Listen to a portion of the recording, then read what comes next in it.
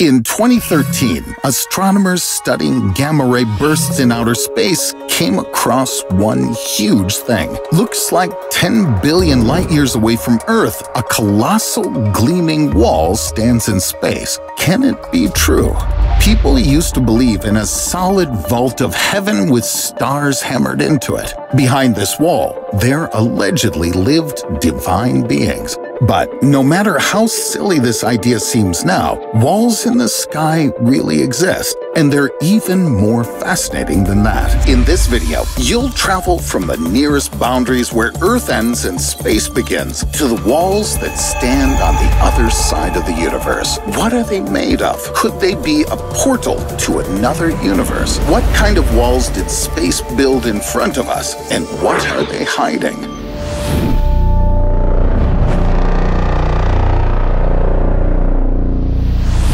Let's start with Earth. The first cosmic wall is just one short trip away. This is an imaginary boundary between the atmosphere and space called the von Karman line. It's located 100 kilometers away from our planet's surface. By the beginning of 2022, only 600 people have managed to get beyond it, and many of them claim that this changed their lives forever. That's because a human who sees Earth from orbit for the first time experiences the overview effect. Astronomers describe it as an all-consuming feeling of how fragile Earth seems surrounded by the black depths of space. This is the only way to feel really attached to our home planet. The following walls that rise on our way are lethally dangerous. These are the Van Allen radiation belts. The first of them lies at an altitude of 4,000 kilometers, and the second one is 17,000 kilometers away from the Earth. As a matter of fact, these are thick walls composed of charged particles held in place by our planet's magnetic field. To avoid a fatal dose of radiation and save all the electronics from burning, we need to pass through the Van Allen belts as quickly as possible. Even the fastest of rockets will need more than a year to reach the next boundary of our solar system. An asteroid belt situated 180 million kilometers away from Earth is a cosmic wall separating terrestrial planets from the gas giants. And although you're unlikely to come across some of the scarce asteroids, one change definitely won't stay unnoticed it'll become much colder on the outside, since the rocket will completely leave the Sun's habitable zone, where Earth-like life can theoretically exist. In another 10 years, you'll enter the orbit of Neptune, the last planet, but you won't even get close to the cosmic wall of our solar system. So, where are its boundaries? Even when you pass the Kuiper Belt, another rocky cosmic wall where Pluto belongs, there will still be the solar wind at your back. And it will disappear only when there are 18 billion kilometers between you and Earth. This is the heliopause, a cosmic wall that can be found where an interstellar particle beam neutralizes the solar wind. Our rocket, just like the Voyagers, will need more than 40 years to cross this line, and before long, we'll hear this kind of sound.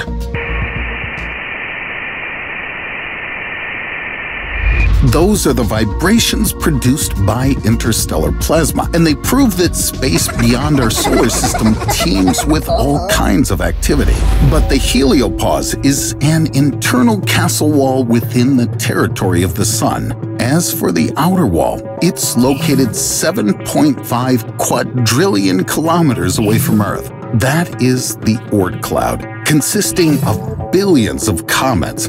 This gigantic two light-year thick sphere is the final point where the gravitational influence of the Sun still works.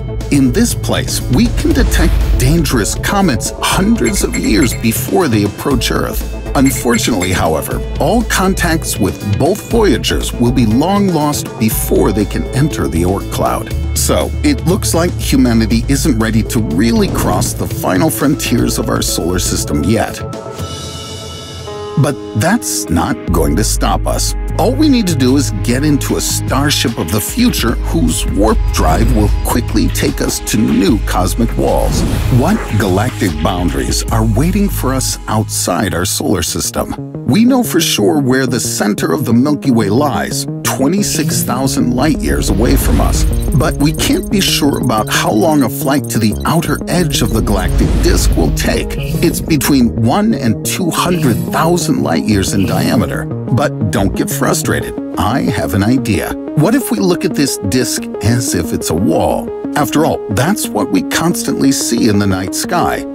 This means that the closest boundary of our Milky Way lies just some 500 light years away. If we go some several thousand light years farther up, we'll realize one long cherished dream of all astronomers. Our ship's windows will become a screen that will broadcast one of the most mysterious objects in the universe, the Great Attractor, a gravitational anomaly that lies at a distance of 250 million light years from Earth.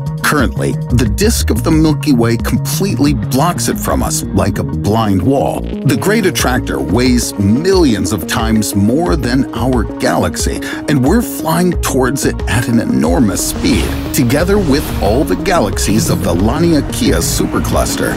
Most likely, it's a thick galaxy filament, but who knows, maybe there is a fundamentally new astronomical object hidden in that place.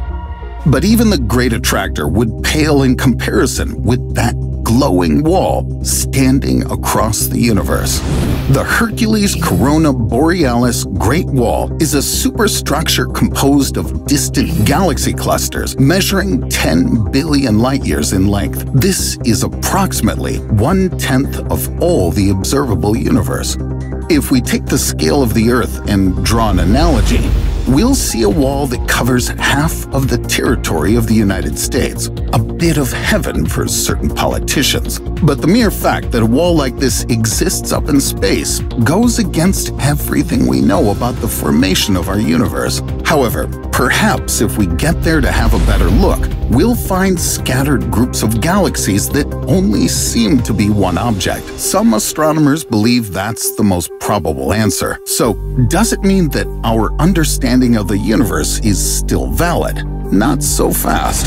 What cosmic walls of epic proportions can challenge science?